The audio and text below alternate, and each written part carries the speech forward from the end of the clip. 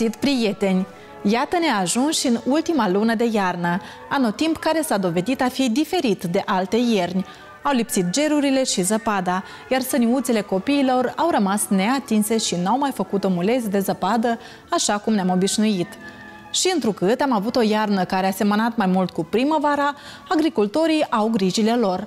Despre iarna atipică care o avem și despre provocările agricultorilor în acest sezon discutăm astăzi salam cu mucegai, covrigei cu cărbune și bomboane din miere. Sunt doar câteva dintre produsele pe care vizitatorii de la expoziția fabricată în Moldova au avut posibilitatea să deguste dintre diversitatea de produse ale producătorilor autohtoni. Vatra caldă, pe care dormeau pe vremuri oamenii de la sate, este pe cale să dispară. Cu câțiva zeci de ani în urmă, era o metodă cu ajutorul căreia moldovenii își încălzeau casele pe timp de iarnă, își găteau bucatele și dormeau la cald toată noaptea. Astăzi însă lejanca este tot mai rar construită și utilizată. Faptul că este nevăzătoare nu împiedică pe o tânără meșteriță din satul Copcea, craionul Ștefan Vodă, să creeze lucrări din mărgelușe. Cum o face, vă arătăm la final.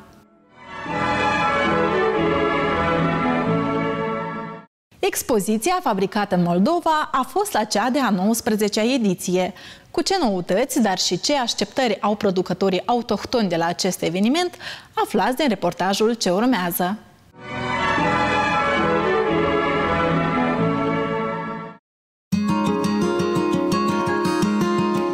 Circa 450 de agenți economici din întreaga țară au participat la cea de a 19-a ediție a expoziției fabricată Moldova. Printre aceștia au fost numeroși producători din domeniul agroindustrial, precum și fabricanții de produse alimentare și băuturi. Astfel, antreprenorii au reușit să fie mai aproape de potențialii consumatori, având posibilitatea să le prezinte produsele în mod direct. Acest eveniment este o foarte bună sursă de a ne reclama. Aici ne află foarte multă lume. Aici putem vorbi direct cu potențialul nostru cumpărător și doar așa lumea poate să capete încredere în noi. Este o metodă de a declara despre noi că mai existăm în Moldova. Vrem ca lumea să cunoască care este pâinea sănătoasă, care ar trebui să consume zilnic. Vrem să informăm cât mai multă lume să alimenteze corect. În promovare, ne cunoască lumea, să guste migdalul crescut uh, într-o zonă ecologică departe de surse de poluare. Este un loc pictoresc, curat, pe un teren 25 de ani a fost plantat nimic. Aceasta este expoziția unde fiecare își prezintă ceea ce este fabricat la noi. Ceea ce se fabrică cu cu toată dragostea și cu dăruire de suflet. Este important că sunt foarte multe startup-uri. Sunt producători mici care vin cu inovații. La tarabele producătorilor au fost expuse o diversitate mare de produse. Unele dintre ele au atras imediat atenția vizitatorilor, deoarece sunt încă neobișnuite pentru noi.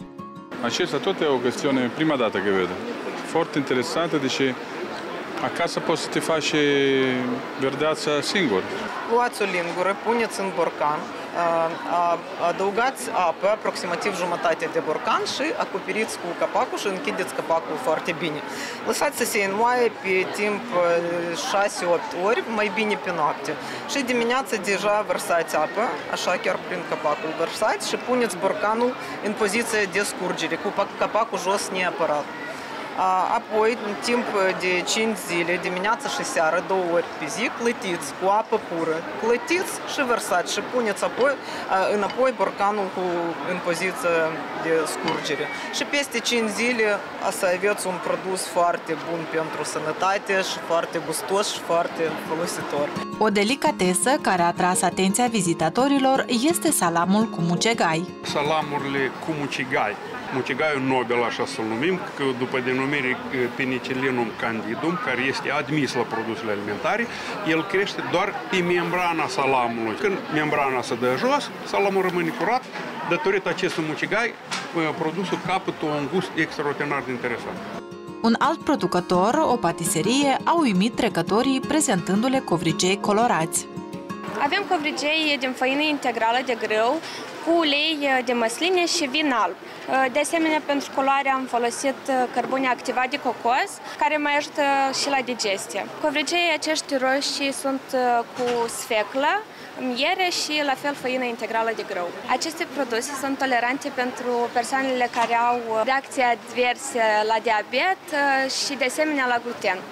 Pentru a cuceri mici vizitatori, o antreprenoare a creat bomboane din miere combinate cu pomușoare. Dezvoltăm și produse pe bază de miere de salcâm cu pomușoare, de căpșună și afine, care vin în sticuri și le numim bomboane din miere, ca un desert sănătos pentru copii și maturi oriunde doresc. Fabricat în Moldova este pentru producătorii autohtoni o posibilitate de a prezenta consumatorilor cât mai vast și atrăgător produsele, pentru că mulți dintre ei afirmă că cea mai mare problemă cu care se confruntă este comercializarea mărfurilor. Problemele cele mai mari sunt uh, probleme de comercializare sau realizare. Oamenii noștri nu cunosc produsul și chiar dacă îl cunosc, că vin la expoziții, îl gust e foarte bun, dar nu de nu italian. Dacă ar fi fost italian, chiar dacă era mai rău, cred că îl cumpărau. Dar dacă e Moldova și chiar la noi în Moldova, Întotdeauna căutăm deschideri că noi produse noi și da, suntem dispuși și deschiși spre, spre export, adică în viitor apropiat sperăm să mai creștem puțin. Practic, toți care vin în ospeții de peste hotare, ei cumpără produsele noastre, arată celor din afară și oricine care este mai departe de casă vrea să guste ceva fabricat în Moldova. Fabricat în Moldova, de-a lungul celor 19 ediții, a devenit pentru producătorii autohtoni o platformă de promovare, iar pentru consumatorii din țara noastră, o posibilitate de a face cunoștință cu mărfurile produse în Moldova.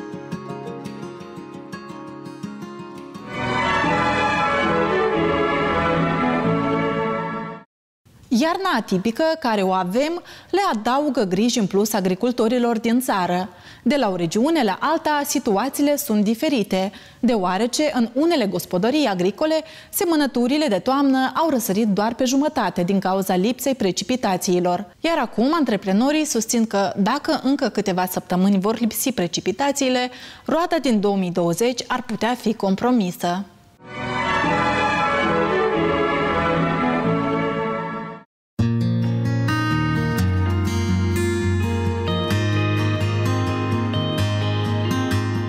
această gospodărie din regiunea autonomă Găgăuzia, în toamna anului trecut, pe o suprafață de 600 de hectare, au fost semănate mai multe culturi, orz, grâu și secară de toamnă.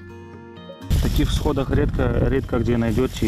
То есть, ну вот то, что и тумана, нет влаги и нет покрова, то есть он немножко болеет. Если будут дожди, тут очень большие перспективы.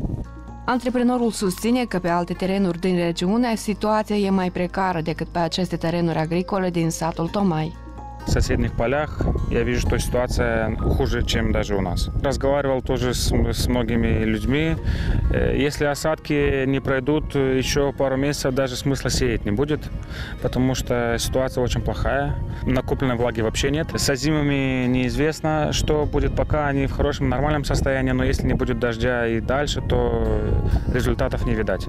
Specialiștii din regiunea autonomă Găgăuzia cataloguează situația de pe câmpuri drept una satisfăcătoare. Însă susțin că în cazul dacă precipitațiile vor lipsi și în perioada apropiată, atunci riscurile sunt mari. Опасения есть по озимым культурам, которые были посеяны в ранние сроки на богатых почвах. Они могут перерастать могут входить в другую фазу своего развития. Мы за этим следим. В некоторых полях там принимаются меры, чтобы растения не вошли в эту опасную фазу. Andrei Dimitrioglu, șeful Direcției Agroindustriale din regiunea autonomă Găgăuzia, spune că anul trecut situația arăta mai dramatic, deoarece în această perioadă nu erau ieșiți vlăstarii.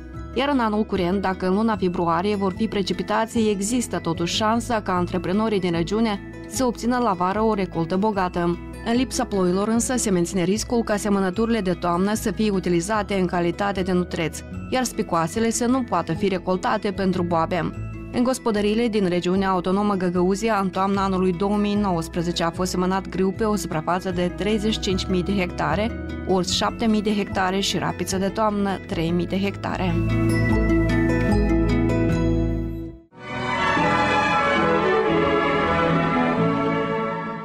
Avem cea mai caldă iarnă din ultimii 30 de ani, iar prognozele specialiștilor nu sunt deloc optimiste. Aceștia susținând că trebuie să ne obișnuim cu iernele primăvaratice, iar agricultorii trebuie să fie pregătiți și să se adapteze provocărilor din viitor.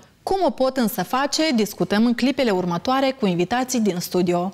Vasile Șarban, șeful Direcției Politici de Producție, Procesare și Reglementarea Calității Produselor de origine vegetală, Ministerul Agriculturii, Dezvoltării Regionale și a Mediului și Valentina Andriucă, conferențiar universitar, doctor, Departamentul Agronomie și Mediu, Facultatea Agronomie, Universitatea Agrară de Stat din Moldova. Bună ziua și bine ați venit la noi în studio. Bună ziua și bine v-am regăsit. Ne vom regăsit. Stimați invitați, vreau să vă întreb mai întâi care culturi ar putea fi afectate din cauza secetei hidrologice care o avem în această iarnă? Când vorbim de secetă hidrologică, trebuie să ne dăm seama că aceasta poate afecta toate culturile, indiferent că sunt culturi cerealiere de toamnă sau sunt culturi multianuale. Sperăm că, deci, urmarea căderii precipitațiilor care le vedem, această situație ar putea fi redresată, că noi am mai avut așa ani și respectiv aceste culturi care au fost însămânțate toamna, ele au preluat uh, aspectul la cele însămânțate de primăvară și deja sunt uh, într-un val de creștere mai dezvoltat, chiar începând cu suma temperaturilor, care este favorabilă pentru dezvoltarea culturilor și începerea fiziologiei în aceste plante. Dacă e să mă refer la starea semănăturilor, noi am putea spune că prin luna decembrie 50% din suprafețe însămânțate este în stare bună, iar cealaltă 50 este însatisfăcătoare și nesatisfăcătoare. Însă, acea care este considerată ca nesatisfăcătoare, nu am putea să o dramatizăm până într-atât, deoarece plantulele nu au răsărit din sol, dar ele sunt încolțite, sunt plantule sănătoase, încă au frunzulițe false, dar deci ele, ele pot fi redresate și putem obține recolte destul de bune. În cazul când vom avea parte de precipitații și în cazul când nu vom avea parte de înghețuri severe la suprafața solului. Vorbim de minus 10, minus 15 grade, la nodul de înfrățire până la 2-3 cm și fără acoperire de zăpadă. Riscul de îngheț apare atunci când planta începe o perioadă de dezvoltare fiziologică. Asta ar fi la temperatura medie de plus 5 grade. Ceea ce noi acum nu avem. Deci dacă să vorbim de, de luna decembrie, noi am avut înregistrată temperatura medie de plus 3 grade. Asta înseamnă că ziua au fost, de exemplu, plus 10 grade, noaptea au fost plus 1 grad, plus 2 și se formează această temperatură medie. Noi la moment nu avem încă înregistrată temperatura medie de plus 5 grade, respectiv ă, culturile sunt într-un repaus sau într-o dezvoltare foarte și foarte lentă. Ă, aceasta ne dă posibilitatea ca semănăturile nerăsărite să fie favorizate cumva de a nu ieși la suprafața solului, să nu fie afectate de vânturi, să nu fie afectate de înghețuri. Respectiv, ă, cred că ă, această situație nu este una până într-atât de dramatic. Noi am mai avut ani agricoli când semănăturile nu erau răsărite, chiar și în luna decembrie-ianuarie, care chiar au fost însămânțate în luna decembrie, aș putea spune. Și în primăvară, deci condițiile au favorizat în așa fel încât să obținem recolte destul de bune. Viile și livezile vor avea de suferit din cauza cantității reduse de umiditate din sol? Eu cred că la moment nu trebuie să facem panică în privința viilor și livezilor, fiindcă vița de vie este o cultură care are un sistem radicular destul de adânc, adaptat la multe condiții. Noi avem aici altă problemă, că de la temperaturi înalte poate da. să fie înmugurirea, fiindcă tot timpul în luna ianuarie-februarie se întâmpla multianual unele perioade cu temperaturi mai înalte, cu acele ferestre de iarnă pe care le utilizau producătorii pentru a curăța tovițe de vii, pentru livez, dar la moment pur și simplu acele sisteme agrotehnice corect aplicate, păstrarea umidității în sol, sunt încă foarte multe pârghii care trebuie realizate. În afară de sistemele de irigare moderne, ce soluții ar mai exista împotriva secetei și a temperaturilor caniculare, care în ultimii ani sunt tot mai mari? Începând de la respectarea tehnologiilor de producere, tehnologiile agrotehnice, vorbim de asolament, vorbim de culturile primărgătoare chiar la înființarea plantațiilor multianuale, vorbim de amplasarea anumitor culturi în uh, părțile versanțelor, expoziția uh, pantelor, dacă e vorba de plantații multianuale. Dacă e să vorbim din punct de vedere tehnic, tehnologic, deci ar mai fi cazul ca să ne învățăm de la țările înalt dezvoltate, țările care se confruntă cu astfel de dezastre și trebuie cumva să ne orientăm deja să acumulăm ceea ce ne dă natura, acumularea apelor pluviale. Noi avem parte de ploi, ploi abundente, unde avem și spălarea semănăturilor și diferite alunecări care se întâmplă urmarea acestora. Ar fi posibil de captat această apă, de, de construit anumite lacuri de acumulare, de filtrat apa respectivă, de a o utiliza în continuare în irigare pentru agricultură. În condițiile în care avem temperaturile mai calde în ultimii ani, Credeți că am putea crește și alte plante sau copaci, cum ar fi portocalul, curmalul, odată ce vom avea ierni și veri mai calde decât ne-am obișnuit? Schimbările climatice ne pune pe noi în gardă ca să ne modificăm viziunea despre acele soiuri pe care noi le avem. Noi trebuie să avem soiurile noastre autohtone mai rezistente la secetă, mai rezistente la temperaturi mai înalte și la fel prin diferite soluții, aceea aceeași agricultură conservativă care noi am încercat-o și ea este destul de benefică, numai că trebuie ca să fie în complex cu mai multe uh, componente. La fel, putem spune că nu se vor modifica unele specii care vor putea crește, dar modificarea temperaturilor active, de exemplu, după pronosticul oficiului schimbări climatice, că se vor permuta acele regiuni cu 500 de kilometri înseamnă că 500 de kilometri, suma temperaturilor active de la sudul Moldovei, mult va întrece suma temperaturilor active de la nordul Republicii, dar noi nici de cum nu vom putea crește, de exemplu, culturile de la sud la nord, fiindcă specificul climatic și specificul ecopedologic influențează cultura. De aceea, noi trebuie să fim gata pentru agricultura tradițională. Agricultorii uh, care se plâng că culturile de toamne au răsărit doar în proporții de 50%, vor beneficia de subvenții. Statul oferă posibilitatea producătorului agricol de a uh, utiliza mai multe avantaje, cum ar fi, printre care este și asigurarea subvenționată a riscurilor de producție în agricultură. Nu cred că, că va fi ceva ajutor din partea statului, mai ales în situația când avem un buget auster, acolo unde noi trebuie să achităm subvențiile care au fost accesate de producători în anul 2019, acolo unde s-au făcut anumite majorări la diferite elemente a bugetului de stat. Vă mulțumim pentru răspunsurile oferite și vă mai așteptăm la noi în studio. Cu mare drag și succese tuturor! Mulțumim!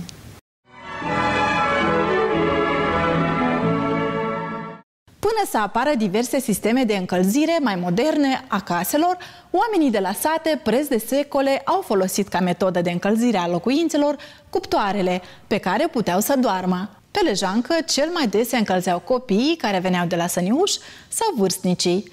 În cuptoare, gospodinele preparau bucate, coceau pâine și plăcinte. Deși astfel de cuptoare au cam dispărut de prin locuințele sătenilor, Varvara Izbaș din satul Copcea, raionul Ștefan Vodă, își așteaptă cu nerăbdare nepoții, care atunci când vin în vizită se cuibăresc pe lejancă, iar soții, Mihail și Natalia Galitski, din aceeași localitate, ne-au rătat cum se coace pâinea în aceste cuptoare construite pe vremuri. Vremuri, până să apară sistemele mai moderne de încălzire, în casele oamenilor de la sate era construită câte o sobă. Această sobă avea două utilități. O parte era prevăzută pentru prepararea bucatelor, iar cealaltă parte era cuptorul. Deasupra cuptorului, oamenii amenajau o vatră pe care în perioada rece a anului dormeau la călduți noaptea întreagă. Am avut la mamă, am avut cuptor, dar noi am crescut șapte copii și tot iarnă și de pe cuptor ca niște la naș. Când copii am avut, am avut cuptor, am avut lejanc. Cum am făcut numai pentru unul, când am copiii s-au dus. Când vin mai sare pe sobă, așa, pe lejanc asta, să mai încălzească. În familiile numeroase, nu era deloc ușor să obții dreptul de a sta pe lejancă. Care lucra pe la viti pe afară și era frig, Așa era câte ori l-a încălzit pe lejancă, cum noi o pe cuptor. Da, care mai știe prin casa, tu dă pe jos și acolo, el să-l încălzească Lejanca poate fi catalogată drept un termoformare, iar cei care au probat-o susțin că este suficient să dormi o noapte pe cuptor și toate bolile dispar. Dar el vine de afară când iarna și e ger mare și deodată se urcă pe aici și se culcă și mai șede o leacă, dar dacă aici e fierbinte, el uh, se mai scoală și se mai așează aici ea pe o scăunel și apoi iară se urcă și se așează pe, pe lejancă. Și asta e. Și eu, dacă am plăcere, de una de sărbători, au venit nepotul de la Chișinău, student, și drept aici s-a urcat. Bunică de la matale așa de vine. Deși în sat sunt sobari pricepuți, soții Mihail și Natalia Galitski au construit singuri soba, așa cum se construia pe timpuri și cum țin minte de la părinții lor. E construit foarte simplu, cum se construiau înainte cuptoarele, pur și simplu ei mai micuță, e de două rânduri de tăvăli, în lungime în capul 10 tăvăli, 5 pe o parte, 5 pe altă parte. Facem focul, se duce pe ei și avine pe ei și aici este gaură unde se urcă fumul la hojeac. Acolo am lăsat pentru că căldura care se îngrămădește acolo, ea să vină toată în coașe. Mai punem la uscat. Ginerele Varvare Izbaș a venit cu o inovație. A adaptat soba la cerințele actuale și acum aceasta încălzește toată casa. Încălzăm cu lemne. Facem foc, avem pe altă parte ca să nu facem murdărei pe ei. Dacă faci foc, te încălzești. E cald în casă și e cald și la nepoți când vin. Ei vine câte unul și doi și să nu se dau rând care să sui pe lejancă. Varvara Izbaș își aduce aminte că pe timpuri, iarna, femeile de la sate împleteau sau croșetau și spuneau copiilor diferite povești anume pe lejancă. Eu acum împletesc o față de masă, pe o masă pătrată așa. Cum îmi vine în minte, așa zdrobesc uh, uzoare, că noi murim să aibă de la ce să că îi dă că e mai frumoasă. Iar în cuptoare coceau pâine, plăcinte și diverse copturi. Am pus apă, ouă, făină, o leacă de zahăr, o leacă de drojde și ea ca s-o primit am luat foarte bun. Al frământăm până să adună, ea ca să vedeți cum e, să nu se cunoască nici o boțșor în aluat. Îl frământăm prima dată și apoi mai las o oră și îl frământ iarăși. Dacă pot să-l mai las o oră și tot să-l frământ mai, mai des, dacă îl frământ și mai bine, aluatul se face bun. Ca îl învălesc și îl las pe o oră, o oră jumătate și la călduță, aici e soba e caldă, seara am făcut focul. Gospodarul avea și el sarcina sa, să potrivească focul astfel încât bucatele să fie rumenite frumos. Ia că aluatul a crescut, cât mi trebuie nouă și eu îl împart. Din fiecare bucățică, încep a împleti, Ia că încep a tăie, Ia că începem a face cu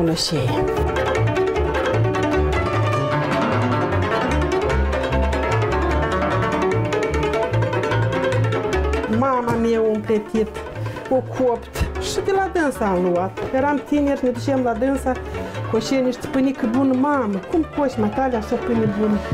Mama zice, când ai și ca mine, dragul mami, asculti tu pâine bună.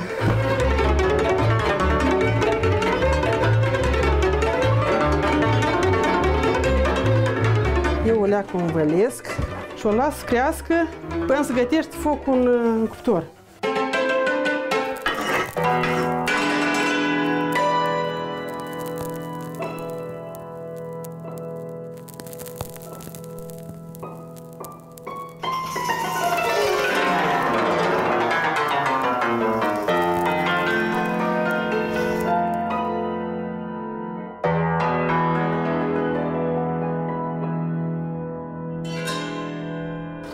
Ia ca așa e. Și astupăm și lăsăm 45 de minute.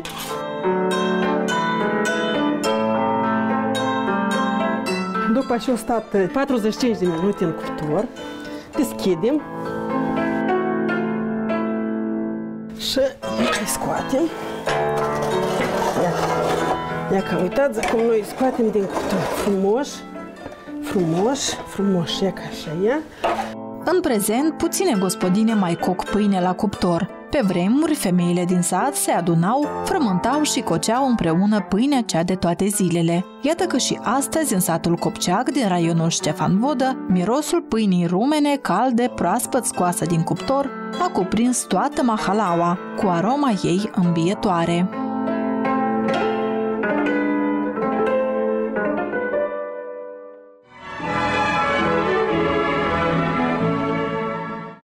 Câțiva ani în urmă, Irina Lazarev, din satul Copceac, raionul Ștefan Vodă, și-a pierdut vederea. Însă acest fapt nu a împiedicat-o să continue activitățile pe care le avea. Cu multă putere de voință, îndrăzneală și muncă, cu ajutorul familiei care o încurajează mereu, reușește să confecționeze diverse lucrări din bisere, crușetează sau confecționează copaci din mărgelușe. Și asta nu este întâmplător, deoarece copacul este simbolul sacru, simbolul vieții, iar motoul meșteriței este mergem doar înainte și niciodată nu privim înapoi.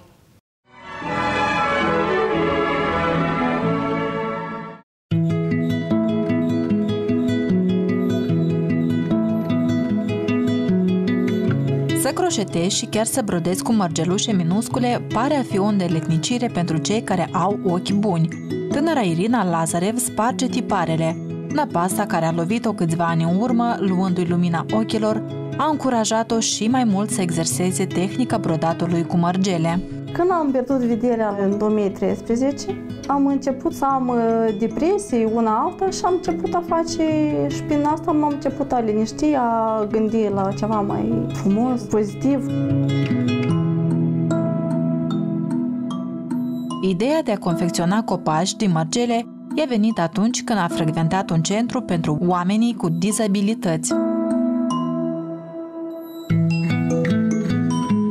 Deși la început părea imposibil să-i reușească, dorința și perseverența au dat roade. Deodată, da, era foarte complicat și mă gândeam că n-am pot, dar ne-am pus o ambiție că eu pot, eu trebuie și eu am început a face și acum e foarte ușor. Am venit acasă și eu zic, mama, eu o să fac copaci, dar mama zice că nu ai să poți.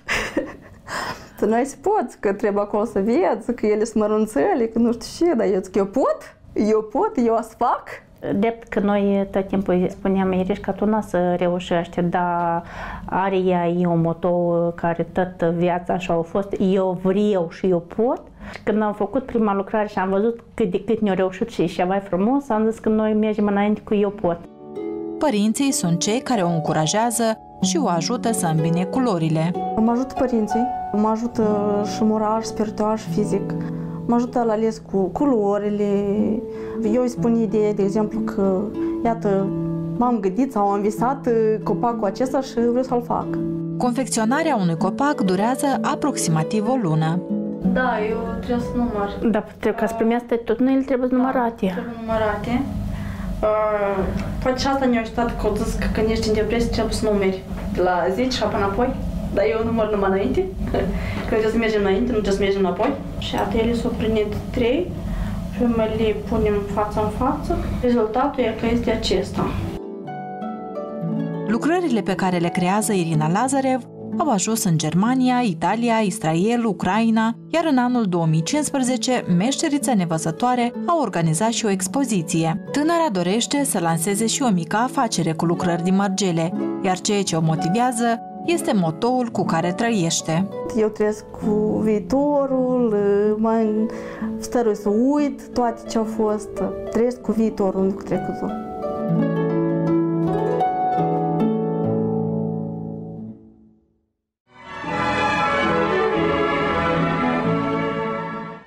Emisiunea de azi se încheie aici. Vă așteptăm din nou în fața ecranelor duminica viitoare la aceeași oră.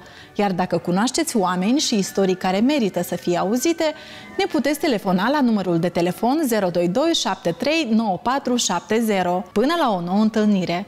Vă urăm toate bune!